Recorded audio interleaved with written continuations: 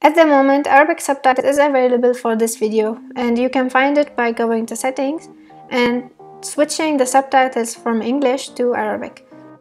And there you go, you will start seeing the Arabic subtitles.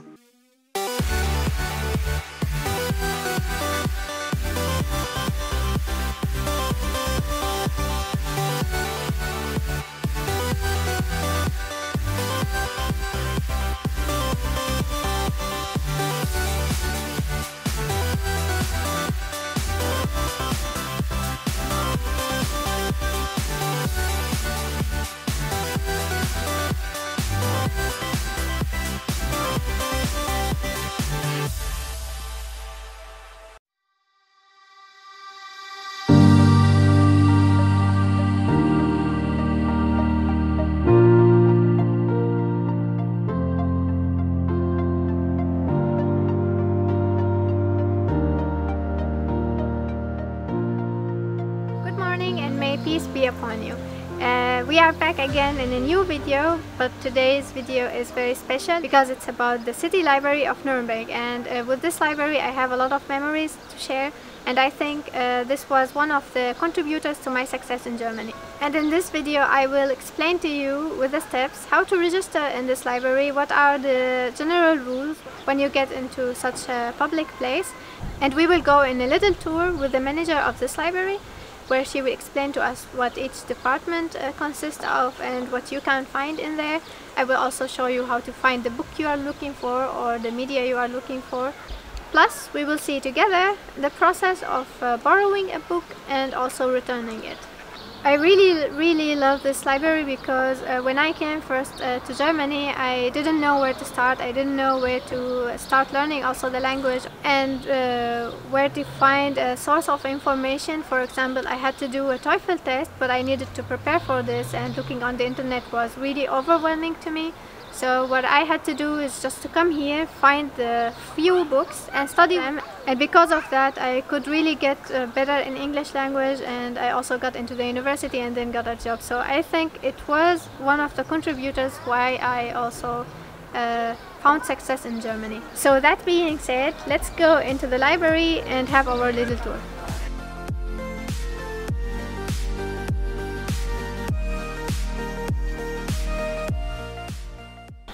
So before we go in, since it's a public place, you have to wear the mask.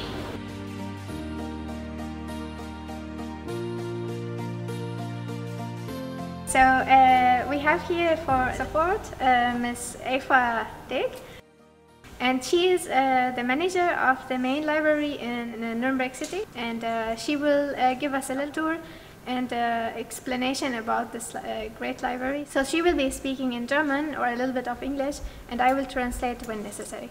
So we have a different library. Here's the biggest one and the central library and um, we have also six smaller libraries around oh, the city. Yeah. So Hier haben wir die Rezeption. Das ist ähm, die erste Information, wenn Sie vom Haupteingang reinkommen. Hier können Sie erste Fragen stellen, erste Informationen bekommen und wenn Sie wissen wollen, wo Sie hingehen müssen, um Ihre Sachen zu finden. -hmm. So here you will find the information desk where you can ask all your questions, how to get to somewhere, where you have to find a book or any questions you have in general. And you can, of course, also ask about registration or other stuff. Uh, so for the registration process, of course, you can do everything online. You can check the website, and we will do this together in a moment. Uh, but in case you are here in place and you want to uh, register by yourself, of course, you can do it. Uh, you can ask the information, and they will tell you where to go to the registration office, and you can pay also the registration fee. So, ähm, wenn Gebühren zu bezahlen sind, können Sie das hier an den äh, Kassenautomaten machen, entweder mit Bargeld oder mit EC-Karte. Mm -hmm. So if you want to pay the registration fee, you can do it easily with either the EC-Karte, which is just the uh, card of your bank, or you can pay uh, also what we call bar, which also means cash. And in case you don't know the German language, you can uh, also switch to other languages. So you have English, Turkish and also Russian. Corona-Zeiten haben wir jetzt diese Ampel, die zählt einmal, wie viele Personen in der Bibliothek sind, weil wir natürlich auch nur eine bestimmte Anzahl reinlassen dürfen. Und gibt Hinweise wie Maske tragen, Hände waschen, ähm, Abstand halten, die üblichen Hinweise. So once you come inside the library, you will see that you will have what is called a Einlassampel. So it's a terminal that will show you the number of visitors currently. So once somebody uh, gets in, it will count plus one. And also you will see that I, it's telling me, please uh, make sure to keep the distance of one and a half meter. Make sure to wear your uh, face mask and also clean your hands and make your visit as short as possible. So once you step out, you will find the registration desk and to the left side, uh, you will find lockers so you can keep your uh, stuff uh, safe and locked and also you can find there uh, Rückgabe. So you, whatever uh, you have of books, you can return it here on the Rückgabe. Behind the Rückgabe, also to the left, you can find what we call Kasseautomat. And here's where you can pay your registration fees. So on this part here, you will see the books that are reserved already. So assume that somebody has uh, borrowed a book that you need, then you can uh, reserve on the webpage directly that you want this book as well as soon as it arrives. So when the person returns the book in the Rückgabe machine, the uh, people from the library will bring your book here and keep it for you with a receipt that you are the person who is reserving this. And once you uh, get here you can have it. To the right just directly uh, opposite to the uh, Kassenautomat you will find the lockers. And after uh, the lockers you have just right next to it what we call Ausleihe and the Ausleihe is basically just few stations where you can return your books and as you can see, the Ausleihe desk is right here. And next to it is where you can get a receipt that you have borrowed a book. You can see also where things are. So Rückgabe is this way. And uh, is that way, like here.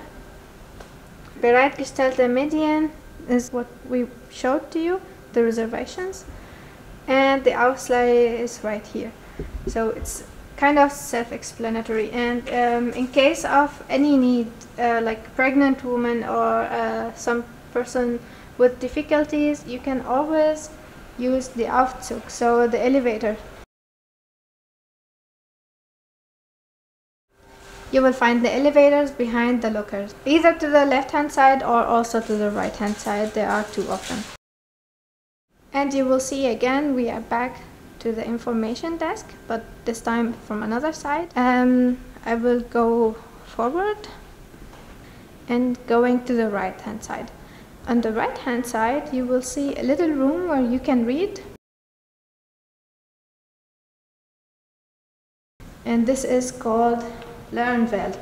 So it's like uh, the word of learning. And to the very, very right hand side, you will see the registration office. So it's like uh, called the Anmeldung. Here you just have to uh, provide your Ausweis and you will directly be printed a membership card for the library. And uh, you will probably have to just show that you have paid the registration fees. And here you will find an electronic device to help you find the electronic uh, services. Here's the most important part where the library is explained pretty well so that uh, you already know we have two parts of the buildings, uh, one to the left and one to the right. One is old and the other one is new. Um, we've explained this with Ms. Eva and you can see here how they are connected together. So you can see with a big letter here that we are in L0, the ground floor, and uh, you can see the four floors. Starting from L1, L2, L3, L4, you have at the beginning, the most important part is the Sprachenabteilung, meaning uh, the languages. This is, I think, important for everyone because here you can find really very useful books for learning languages. Um, you have at the beginning everything related to fictional books uh, or films or uh, audio books. You have also biographies, uh, you have literature, and you have old books. Um, on the second floor, you have everything related to music. On the third floor, you have everything related to children or teenagers. On the fourth floor, you have the administration. This is usually not interesting for you. On the other uh, side, we have the old building, so it's the K building. And uh, Miss Susanne, Miss Susanne just told me that it uh, returns to the 13th century, which is wow, like amazing. and uh, here in this uh, part of the building, you will see everything related to sciences, so mathematics, uh, computer science, uh, everything, really everything related to science. And um, this is how you can see that they are connected together and we will go in a tour with Miss Eva later in this video. And um, we have here in the library, wherever you go, a free Wi-Fi. So also you can enjoy this uh, uh, from the library for free. You can see that uh, today we are coming in a very, very special day. Uh, it's the anniversary of the library in Nuremberg. In the year, on, on 30th, 30 December 1370, there was a, a man borrowing uh, 13 books from the municipal library in Nuremberg. Wow. And That's it? That's it. so we are So- really lucky today. We Uh, are coming in a good day. this year, nowadays, we have the 650th anniversary. Wow. Congratulations. Äh, Eine ganz wichtige Information vielleicht auch noch, ähm, die Bibliothek besteht aus zwei Häusern, die miteinander verbunden sind. Das ist einmal hier die Treppe hoch in das alte Kloster. Ähm, Sie sehen vielleicht die Backsteinmauer. Ähm, das ist das K-Gebäude.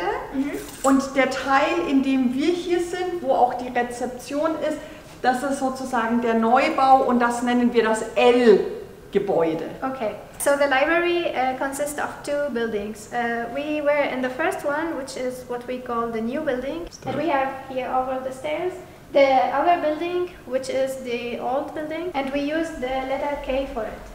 So, hier sehen Sie die drei Etagen in dem L-Gebäude, einmal L1, L2, L3. So here you can see the three uh, floors of the building L. We have L1, L2, L3. and L4, but this is the administration, so it's not so interesting. Okay?